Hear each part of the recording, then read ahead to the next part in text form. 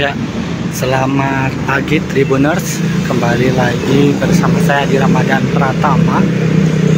Untuk saat ini saya berada di Geraha Persib uh, jelang keberangkatan uh, para pemain uh, Persib Bandung ya ke Surabaya. Jadi untuk saat ini di Geraha Persib terpantau masih sepi ya dari pemain ataupun dari Boboto jadi berdasarkan informasi nanti tepatnya pada pukul 1 atau setelah sholat Jumat para penggawa Persib ini akan berangkat dari Geraha uh, Persib di Jalan Sulanjana menuju ke uh, Jakarta lalu menggunakan pesawat dan ke Surabaya. Jadi uh, titik kumpulnya itu ada di Geraha Persib lalu menggunakan bis menuju Jakarta dan nantinya di Jakarta akan langsung menggunakan pesawat ke Surabaya. Jadi untuk saat ini sih masih terpantau lenggang ya dari Boboto ataupun dari para pemain. Jadi berdasarkan informasi tadi para pemain ini sedang melakukan uh, latihan terakhirnya ya jelang pertandingan melawan Persebaya Surabaya di Stadion Gelora Bung Tomo pada hari Sabtu 7 eh, Oktober 2023 besok sore ya pada pukul 15.00 jadi sebelum berangkat tim Persib hari ini uh, menggelar latihan di Stadion Sidolik. Setelah selesai latihan nantinya akan berkumpul di Geraha Persib untuk berangkat ke Jakarta lalu di Jakarta menggunakan pesawat ke Surabaya. Jadi seperti itu. Tribuners uh, jadi bagi Boboto ataupun warga Bandung yang ada di Gerah yang ada di sekitaran Geraha Persib ataupun di khususnya di kota Bandung jika memang ingin memberikan semangat kepada para penggawa Persib bisa langsung datang ke Geraha Persib ya di Jalan Sulanjana karena tim Persib ini direncanakan akan berangkat pada pukul 1 ya 13.00 tapi untuk jadwal tersebut nantinya eh, takutnya nanti ada ada perubahan atau tidak. Tapi di rencana awal itu eh, berangkat pada pukul 13.00 setelah sholat Jumat. Seperti itu. Dan sekedar informasi saja eh, untuk saat ini tim Persib sedang uh, menoreh tren positif ya. Dalam lima pertandingan Persib berhasil mengoleksi empat kemenangan dan satu imbang. Dan saat ini tim Persib akan berusaha menduduki puncak klasemen karena sejauh ini pasca melawan Persita Tangerang pada 1 Oktober lalu Persib ini berhasil menduduki peringkat ketiga ya di klasemen sementara Liga 1 2023-2024 jadi dari 14 pertandingan terakhir Persib ini mampu mengoleksi 24 poin.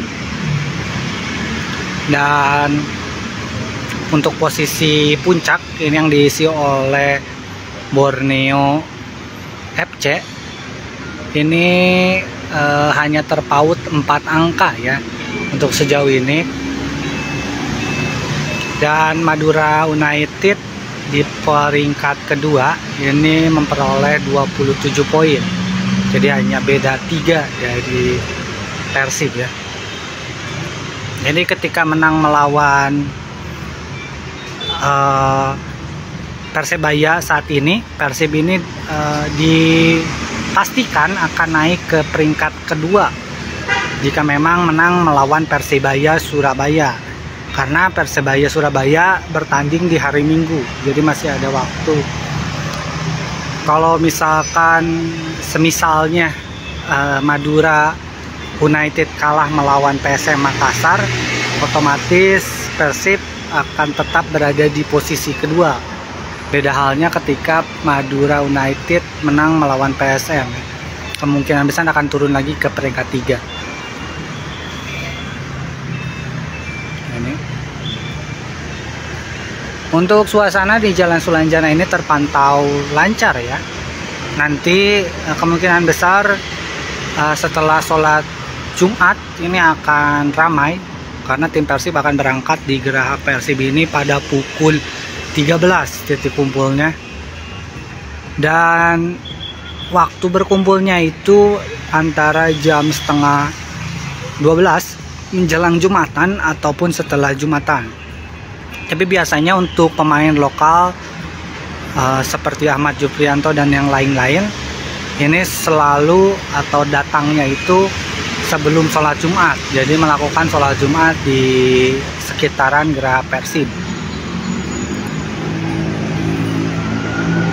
dan untuk pemain yang masih atau dipastikan akan absen ini antara lain seperti uh, Daisuke Sato ya, untuk tim Persib. Karena memang pada melawan pada laga lawan Persita Tangerang ini Daisuke Sato mendapatkan akumulasi kartu ya. Jadi dipastikan pada pertandingan atau pekan ke 15 ini Daisuke Sato tidak akan membela Persib di laga Persib versus Persebaya Surabaya. Dan untuk pemain lainnya seperti Febri Haryadi dari kemarin ini masih belum uh, berlatih bersama tim Persib ya lalu Reki Rahayu dan Kakang Rudianto pun sejauh ini masih belum berlatih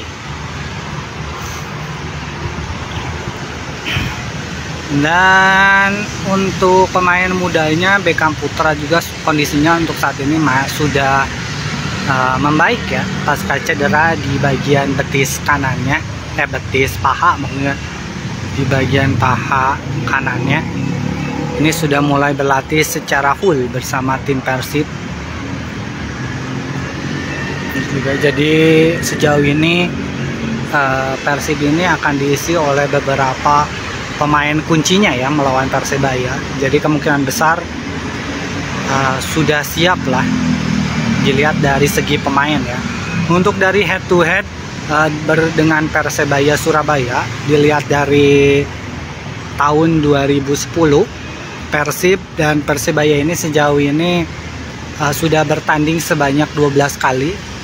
Dan dari 12 pertandingan tersebut Persib berhasil meraih 5 kemenangan lalu uh, 4 kekalah 4 kekalahan dan 3 imbang ya jadi masih unggul uh, satu kemenangan dari Persebaya Surabaya ya. Jadi jika dilihat head to head memang persentasenya ini 50-50 ya. Karena pada musim lalu saja Persib berhasil menang tipis di putaran pertama itu 3-2 kalau nggak salah.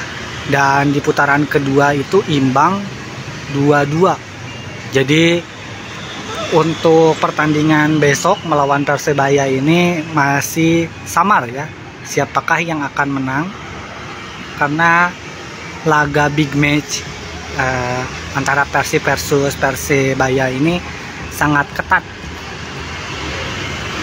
sangat ketat Wen sangat ketat ya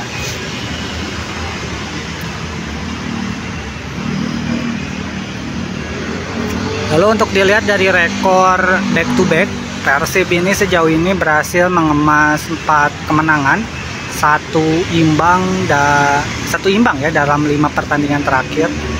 Dan Persebaya itu oh, Persebaya berapa ya?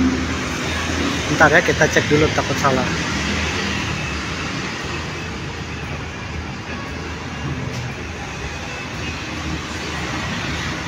Jadi kalau dilihat dari back to back juga Persebaya ini sejauh ini berhasil menduduki peringkat ke-6 ya. Peringkat ke-6 dengan mengoleksi 16 poin. Persebaya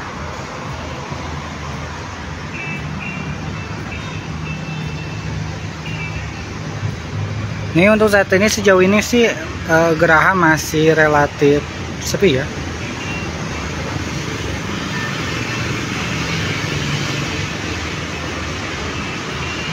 Ya Persebaya di posisi 6 dengan 22 poin ternyata. 22 poin. Uh, dilihat dari segi statistik Persebaya berhasil mengemas dua kemenangan dua imbang dan satu kekalahan ya dalam lima pertandingan terakhir. Jadi sejauh ini Persebaya terakhir bertanding itu melawan Dewa United uh, dengan kedudukan 1-1 ya, atau imbang. Sedangkan Persib uh, kemenangan dan satu imbang ya. Di laga terakhir melawan Persita saja 5-0 di Gebela kemarin ya. Dan hasil imbangnya itu Persib saat melawan Persija Jakarta ya di Stadion Patriot dengan skor 1-1. ya jadi itulah uh, laporan singkat jelang pertandingan eh jelang pertandingan jelang keberangkatan tim Persib menuju uh, Surabaya ya jadi saya di Ramadan Pratama melaporkan di Geraha Persib